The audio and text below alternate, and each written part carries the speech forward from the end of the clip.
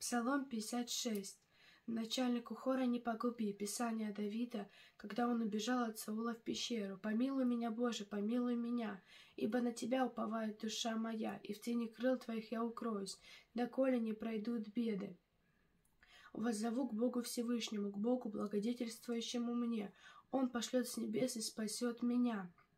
Посрамит ищущего поглотить меня. Пошлет Бог милость свою и истину свою.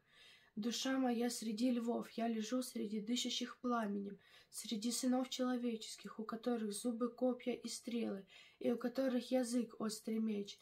Будь превознесен выше небес Божий, и над всей землей да будет слава Твоя. Приготовили сеять ногам моим, душа моя поникла, выкопали предо мною яму, и сами упали в нее. Готово сердце мое, Боже, готово сердце мое, буду петь и славить. Воспрянь, слава моя, воспрянь. Псалтыри гусли, я встану рано. Буду славить Тебя, Господи, а, между народами, буду воспевать Тебя среди племен, ибо до небес велика милость Твоя, и до облаков истина Твоя. Будь превознесен выше небес Божий, и над всей землей да будет слава Твоя. Аминь.